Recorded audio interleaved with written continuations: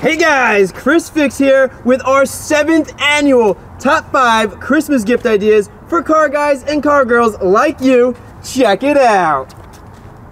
Now this year, just like all the other years I've done this, I've come up with some really helpful gift ideas for anybody who likes to work on their own car. And not only are they helpful, but they're unique, they're different. There's stuff here that you don't already have in your toolbox. And I'll be sure to link all these gift ideas down in the description and in the pinned comment so you could easily find it. That's why I've done this for the past six years. I wanna make this as easy and fun as possible for you guys. Stress-free is important because I know how the holiday seasons are, and that's the whole point of the video. So, with that said, we got a lot of really cool gift ideas. They're not sponsored. They're all things I think you'll like, and I have some special ones this year, and I'm super excited. I'm like a kid on Christmas. I can't wait to show you. So let's get to opening these gifts.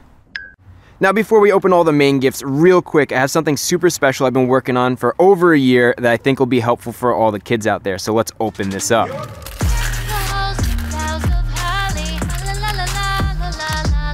All right, How to Change a Flat Tire by me. Yes, I published a book. It is on Amazon. It's fully published. It's ready to go. It is a children's book, and I don't want to spoil the surprise. We'll just flip to a random page but uh, it is all about how to change a flat tire. And it also teaches kids that they could help others with a positive attitude and anybody could be a hero. Now this book is for like 8 to 10 year olds and under. If they can't read, don't worry. I came up with a cool idea. I have a QR code you could scan and it goes to a video of me reading the book with some sound effects. And this doesn't break the bank. It's $9.99. I'll be completely transparent with you guys. I make a little over a dollar a book. I need to sell over 4,000 just to break even. And it's not about the money. It's about getting the younger generation into cars and also teaching them the basics of useful life skills. So anyway, just want to show you that real quick. I've been working on this for so long. I hope you're excited as I am. It makes a great gift idea for the young ones. And now let's actually get started opening up our first gift. All right, the first gift idea. I wonder what it could be. Okay, a ratcheting flare nut wrench set. And check it out, this is really nice. But wait, there's more. Okay, so it's got Chris Fix on the box. And check this out, an extendable ratchet set. Oh man, would you look at that? This looks so nice. So let's start out with our ratcheting flare nut wrench set, and this I like a lot because most people aren't gonna have these in their toolbox. This is more of a specialty tool. What most people are gonna have are these. This is a typical flare nut wrench set. You can see they have the double-sided flare nut wrenches. Very useful, but they don't work in every situation, and these right here, these could save you a lot of time and a lot of grief. So real quick, if we take a look under the hood, right over here is our master cylinder, and then right here is a distribution block, and on the distribution block are some brake brake lines and you can see there are flare nuts and those are really difficult to get to. There's not a lot of room in here. So let's just say we want to remove this flare nut right here to replace this brake line or maybe we want to bleed the brakes, whatever it is. What you do is you get your flare nut wrench, put it over the line like that and get it on the flare nut. Now we need to loosen this and you can see as we're loosening it hits this sensor right here. There's no way we could loosen it. So if we try to find the next spot we can't because now it hits the master cylinder. There's brake lines in the way. If we come on this side we got a spot right here but again, we're hitting the master cylinder when we try to loosen it. So this isn't gonna work. But with one of these ratcheting and swiveling flare nut wrenches, we could get it on here, and there we go. And look at all the room we could create because it ratchets. So we have plenty of room for a swing here. I could actually probably loosen this. There we go, you can see, I could loosen it, and that is awesome. Now, I don't wanna loosen it all the way because I don't wanna get a ton of air in here.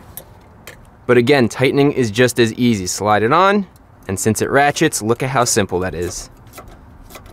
Now you might be wondering, how do you get this off the brake line when it's completely ratcheted like that? It's closed off. Well, all you have to do is spin that ratcheting mechanism and now it comes right off. And that's the perfect example of where this tool comes in handy. Now, are you gonna use this every day? Probably not. But when you do need it, it's gonna save you and it's gonna be completely worth it. You'll be glad you had it, trust me. And that's exactly why this set made the list. Now, speaking of tools that you could use every day, this is something I'm super excited about. This is the three-piece Chris Fix extendable ratchet set. We have a half inch, 3 8 inch, and quarter inch extendable ratchet. And what that means is, sure, you could use a regular ratchet like this, but if you need more leverage to loosen up a bolt, this extends out and it locks in place. That way you can loosen up those hard to remove fasteners. Now this is the half inch, just to show you the 3 8 extends out that far. And then the quarter inch extends out that far. Another really nice feature about this tool set is something I like a lot, and that is foam tool trays. And this is great because, first off, you can see when you're missing a tool. It's very easy to identify real quick, and it stores it very nicely. We have the ChrisFix logo here, out with the old, in with the new, and you can put it in your toolbox horizontally or vertically like that. So you can just throw it right in your toolbox in an open spot, now you have your extendable ratchet set nicely organized in your toolbox. Now, just to be clear, this isn't some junky rebranded tool set that some YouTubers trying to peddle to you. You guys know I'm not like that and I always go above and beyond with everything I do and I won't put my name on just anything. It has to be really good. So to make sure it's good, I purchased a bunch of different extendable ratchets from different manufacturers and tested them out for the last three years. While this might look the same as the ChrisFix ratchet, it is completely different. It's from a different manufacturer. Look at how much play there is in this head. That drove me crazy as I was testing it out. I'll be honest, it didn't break or anything. It just, there's a lot of play in here. Even when it's fully opened, look at how much play there is in here. That is just too much and I didn't like how it felt. Now compare that to my ratchet. You can see there is very little play in the head when it's closed, and when you fully extend it, again, very little play. It is fully extended, it's very solid, and it just feels way better. So here's another ratchet. You can see the play in the head. That is just, it just doesn't feel good. It feels cheap. So again, I paid close attention to the tolerances here. You can see how much sturdier that is, and it doesn't move around. And with the collar here, when you open it, it's solid. It snaps into place you get that solid snap. That way you know it won't come loose. So you would never use a regular ratchet to try to loosen up lug nuts because if you tried, oh man, they are, you don't have any leverage. It's just super tight on here and that's not the only one that's tight. They're all really tight. But with the extendable ratchet, what you could do is once you get it on there, you could extend the ratchet and with the ratchet extended and locked in, now you have a lot more leverage and it's a lot easier to remove those lug nuts. Every single one is gonna come off pretty easy. Watch this, one hand, boom, not bad at all. And that's the power of leverage. So you can see that caliper bolt back there. Normally you wouldn't try this with a regular ratchet. You'd go right for the breaker bar, the impact. But I'm gonna, I'm gonna try to push down.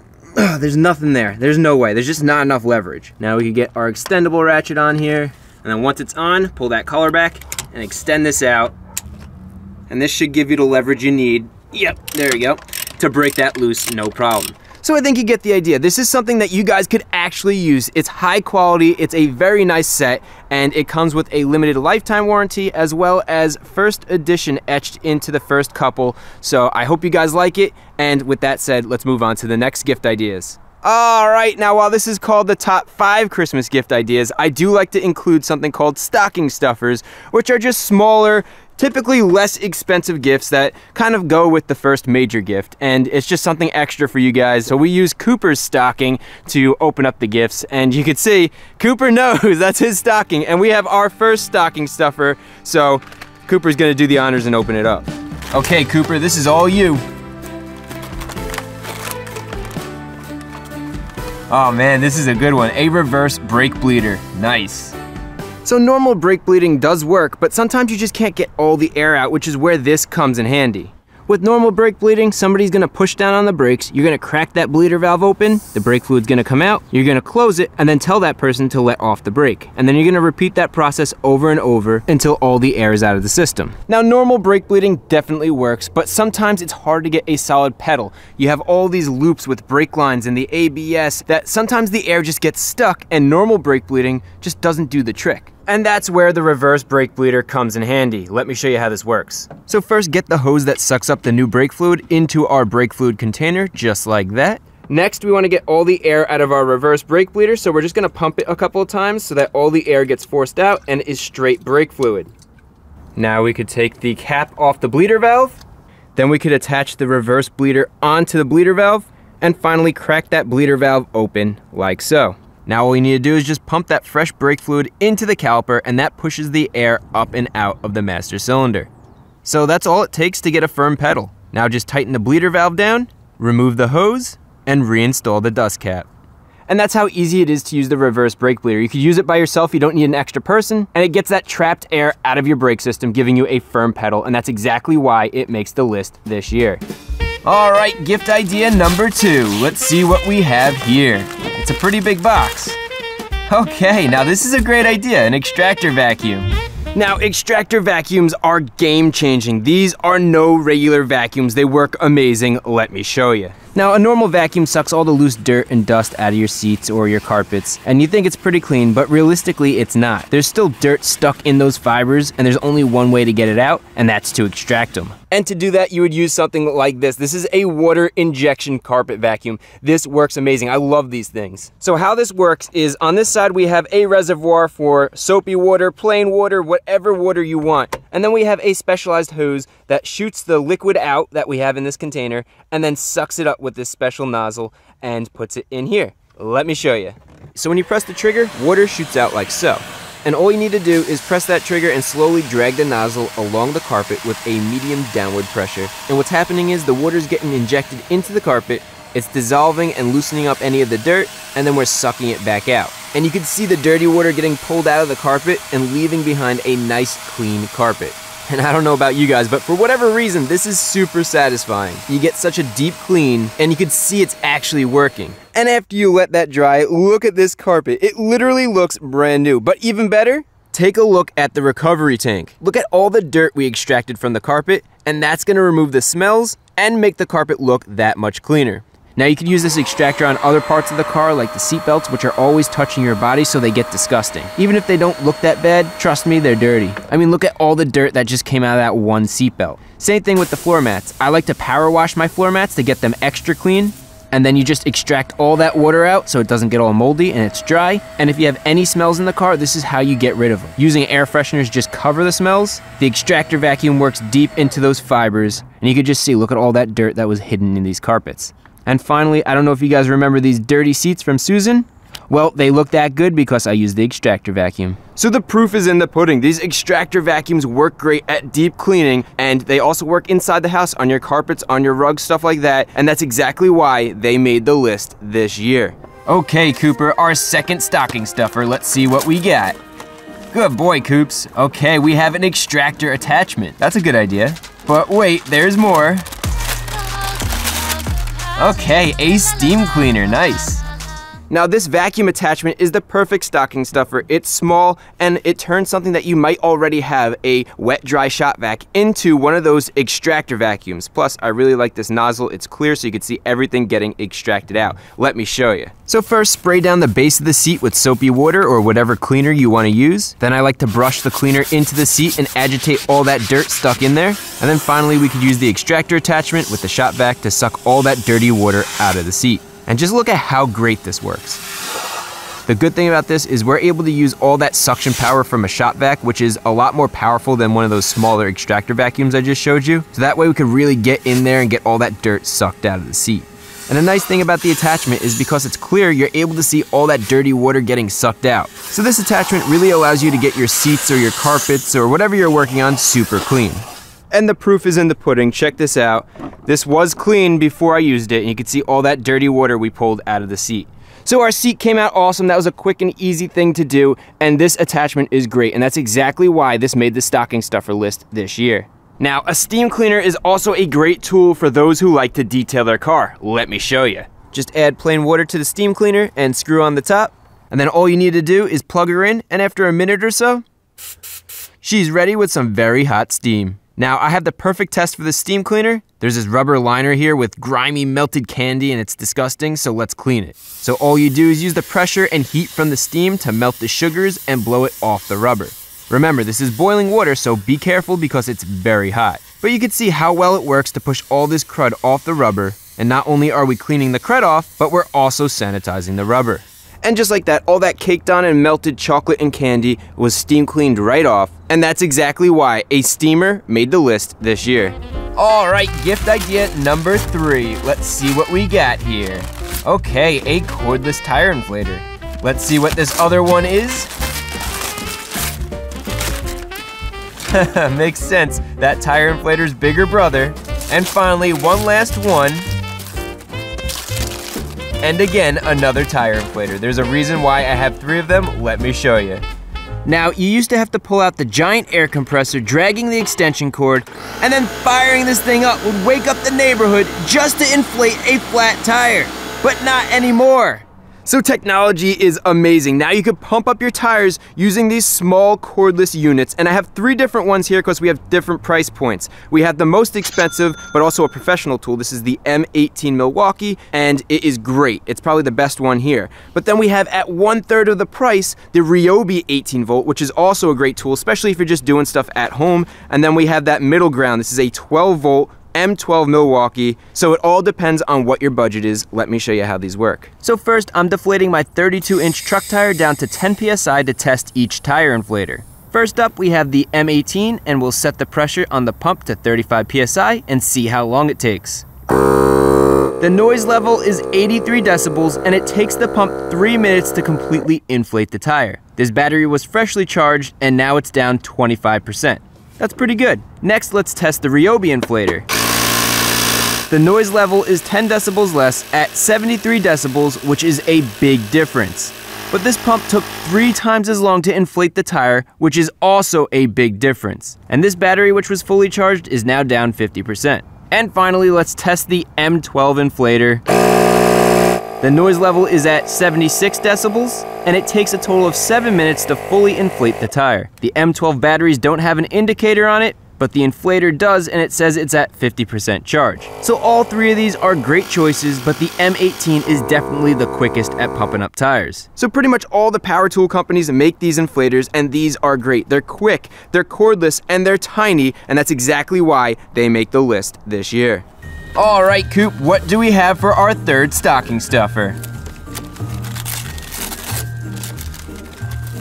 All right, a lug torque wrench. Now this is a pretty cool stocking stuffer. What it is, is an old school lug wrench like this and a torque wrench combined into one tool to make removing and installing wheels that much quicker. So if you're still using one of these old school lug wrenches, it might be time to upgrade. So with the lug torque wrench, you could slide the handle all the way out and it locks in place. And now you have the leverage you need to break loose any lug nuts on your wheels. Once you break them loose, now you can slide the handle to the middle position, and now you can spin the lug nuts right off quick and easy. The handle has bearings in it which allows the tool to spin freely and unscrew those lug nuts quickly. And then you guys know after all the lug nuts are removed, you can remove the wheel and do whatever work you need to do. And then a few Chris Fix videos later with everything all fixed, you could get that wheel back on. And now tightening down those lug nuts is quick and easy also because you could let the tool spin freely in the other direction. So tighten down all the lug nuts by spinning that wrench and now let's torque them down to spec. Now to set your torque, you look in this window and then you press this dial in and then you spin this until you get to the desired torque. Now these wheels get torqued to 100 foot-pounds, so we're gonna spin this all the way until this reaches the zero at 100, just like that, and now our torque is set.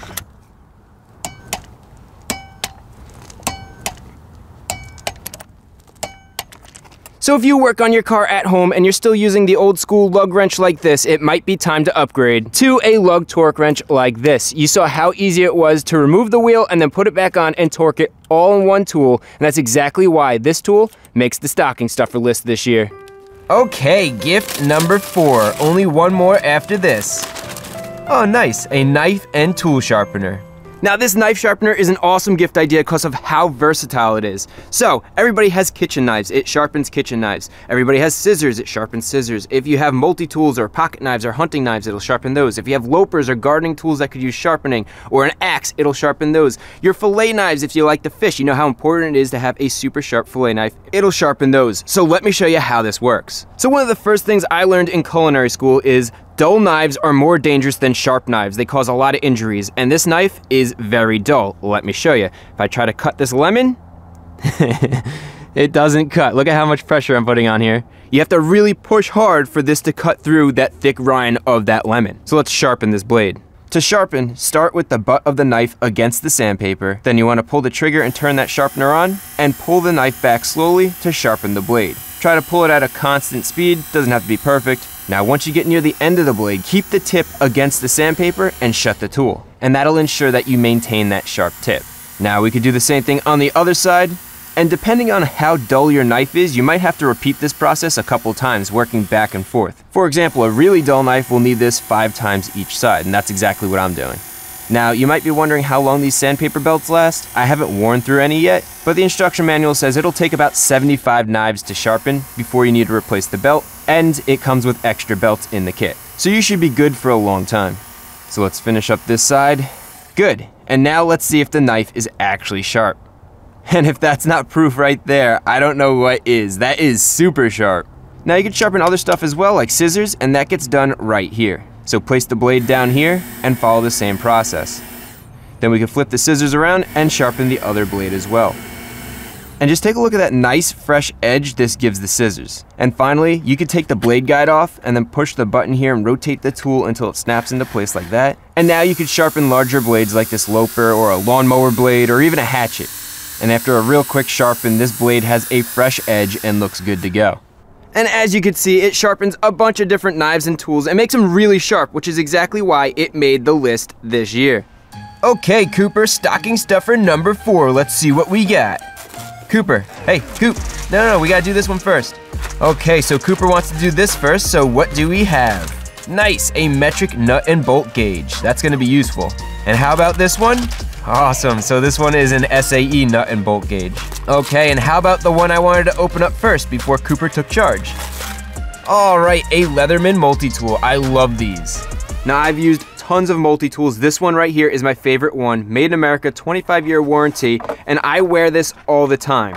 Now, full disclaimer, this is not new. I've used this for the past three years, almost every single day. It's been used in salt water all the time for when I'm fishing and boating, and I actually got a second one because I like it so much, and this one I got my name engraved on the blade. Now, this tool is 21 tools in one. It has the belt clip right here, which is how I wear it, but if you want to be more secure, you could use the sheath, and this tool is primarily a needle nose pliers. You can see it locks in place. It's not spring-loaded, so you have to open and close it. This tip is well designed, so it actually closes down accurately and tight. And the middle part here is designed to grab onto nuts and bolts so you can loosen them up just in case you don't have your socket set. Next, you can see the replaceable cutters in there, and this is made to cut metal wire. For example, I use stainless steel fishing wire for shark fishing, and it cuts it no problem. And at the very end, there's a little gap so you could strip wire. Let me show you. So get the end of the wire in here, clamp down, and then spin the multi-tool back and forth to cut the wire insulation, and the insulation pops right off. So not a bad tool to have just in case you need it and you don't have your wire strippers. So I think you get the idea. It has a nice pliers. Let's collapse this down and let me show you the tools on the side here. So we'll start off on this side and you can see every single tool that you open up locks into place. What you have to do to unlock it is press down this little button here and now it unlocks and collapses back in. So the first tool we have here is a saw and as you can see the saw works pretty well. You're not going to build a log cabin with it but you could cut firewood or cut things on the fly when you don't have a big saw with you. So we have a pick with a little hole in it. We have a ruler, both centimeter and inch, and a flathead end, as well as a wire strippers right there. We have a file, and this file actually works. And I find myself using this file more often than I thought I would. It's really good at removing corrosion from metal, and as you can see, it works pretty well. And finally, we have our serrated blade, and I use this to cut bait all the time. It cuts right through the meat, and it'll even cut right through the bone because it's serrated and that is the first side. Now the second side. So on this side we have a scissors and this is great. It's spring loaded and it's awesome at cutting zip ties. So if you want to cut the end of a zip tie, make sure it's flush and it makes it so it's not sharp at all. Now we have a Phillips head and flathead screwdriver. The Phillips head has a little can opener piece right there. And then we have our regular blade, which is really sharp. Again, locks in place. Anybody who gets this as a gift is gonna absolutely love it. And that's exactly why it makes my list this year. Now, the next stocking stuffer is a great tool to have in your garage. We all have that bag full of bolts, or maybe two, or I could probably just keep going. And sometimes you need to figure out what size bolt you have. For example, this one right here. So this is really simple. I'm gonna show you real quick. You just wanna find the hole that the bolt will thread into. You can see the 12 millimeter is too big. So we'll go down to 10, and this is 10 millimeter extra fine.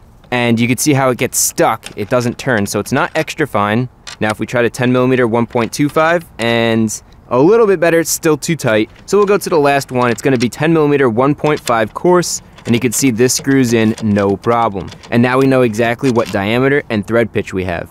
Now we could do the same thing with nuts. You can see we have an old castle nut, maybe you need a new one. Okay, that's too small. If we go here, oh, that might fit. No, that's way too tight, so it's not a coarse thread, so it's gonna be 14 millimeter fine, perfect. And that's exactly what we have.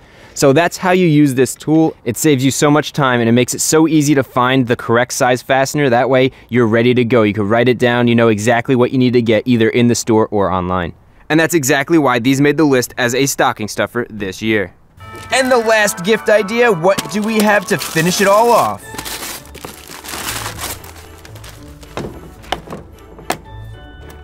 Nice, a borescope camera. Now this is a really nice borescope camera. It comes with its own screen, which is great, so you don't have to connect it to your cell phone or to a laptop. Sometimes they're wireless and they never connect. This takes video and pictures. It shoots at 720p. It has a light at the end of the camera, and this camera is autofocus. Let me show you how it works. So let's just say you wanna look inside your frame rail and see the condition of the metal inside. That is a perfect use for this borescope camera. The camera on this is so tiny, it fits right into the vent hole in the frame rail. And oh man, check this out. This is so cool. Okay, so here's some actual footage from the camera going into the frame. And it definitely takes some getting used to when trying to aim this camera and push it in here. And you can see the condition inside the frame looks really good for a 1996 with a little bit of surface rust on the bottom of the frame, but nothing crazy. The top still has that factory paint and it's looking really good. So that was really neat to see and that's just one use for this camera. Now the camera comes with a magnet and a hook attachment so you could try to retrieve stuff in hard to reach places and a 90 degree mirror that way you could see sideways and they all attach right to the end of the camera. Now the autofocus camera is great, but it doesn't fit into those tight spark plug holes. So they do sell a thinner one that you could attach and you can see it has a camera on the side and a camera on the front. The side camera is good for looking at valves and this will fit down into your spark plug wells, no problem. Let's look at how thin it is. Let me show you. So let's extend the ratchet to break loose the spark plug. Good, and now let's collapse this, loosen the plug the rest of the way, and let's remove the plug from the engine. Okay, now we can insert the camera into the engine and check this out. So we're using the sideways camera here and you can clearly see that valve, which is really neat. And that valve is looking actually pretty clean. I thought there'd be more carbon deposits on it, but I don't see that much buildup at all. Not bad. Now, how cool is that? You get to see into the engine, see the valves, and this borescope camera is great. You get to see into places no other camera could go, and that's exactly why it makes the list this year. Okay, Cooper, our last stocking stuffer, what do you think it is? Sounds like a paint can. Let's see what we get. Ah, it's not a paint can. We were tricked. It's cavity wax, which is actually a good idea. Okay, and the last gift to unwrap, Cooper, so make it a good one.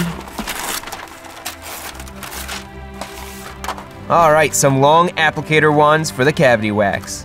So this is a great gift idea for anybody who likes to hold onto their vehicles for a long time and prevent rust. And you could get these spray nozzle wands which come in different lengths and they are awesome for getting behind body panels or deep into the frame of your car or truck. That way you could prevent rust. Let me show you how it works. So for example, you can see how this is getting all rusty here. Eventually that'll rust to the outside of the rocker and that wouldn't be good. Now technically you're supposed to clean all this off. If you're gonna do it on your car, power wash this off. That's all dirt and stuff. Right now it's below freezing, so I'm not gonna do that. I just wanna show you how this works. So we just have the regular cap on here and all you have to do is spray down the area, get it coated, and you can see how it's an oily, waxy material and it absorbs right into the metal. Now this isn't paint, so if there's rust already, it absorbs into the rust and prevents it from rusting further, and that's why it's important to clean this off, because you don't want to trap any moisture. But I think that gives you a good example of what the consistency looks like. Let me show you how to use this when the frame is solid and there's only a little hole to stick the wand into. So my Hummer is the perfect candidate for this treatment, so let's go under the car and check out the frame.